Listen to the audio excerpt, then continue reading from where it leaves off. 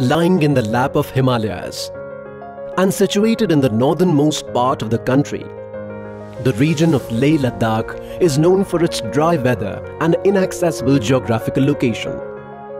At a distance of about 260 kilometers southeast of Leh lies a quiet and sparsely populated village, Hanle, which is home to one of the highest telescopes in the world, the Himalayan Chandra Telescope.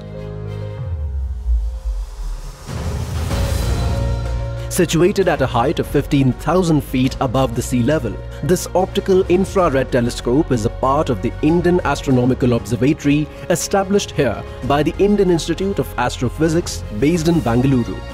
The 2-meter diameter Himalayan Chandra telescope detected its first light signals in the year 2000 and will complete 20 years in operation on the night of 26 September 2020 telescopes and astronomical observatories are used to observe and expand our knowledge about celestial events involving various entities like exoplanets, stars, nebula, galaxies, etc. Such telescopes need high altitude locations with minimum atmospheric interference. Therefore, Hanle B. High altitude location with thin atmosphere, lower atmospheric water content and cloudless transparent skies is an apt location for such astronomical observations. The Hanle Observatory is controlled via satellite link from Center for Research and Education in Science and Technology at Hoskote near Bangalore. Light emanating from the universe falls on the primary mirror of the telescope converges and falls on the secondary mirror and again passes through the hole of the primary mirror and creates an image on its back.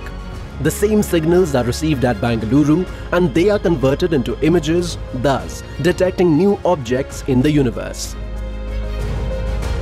The telescope also captures short-lived astronomical phenomena like the supernova and objects which do not shine brightly in the sky. The 2-meter diameter optical infrared telescope continues to scan the night sky to capture invaluable data, which will help us further to expand our knowledge about the mysteries of the universe.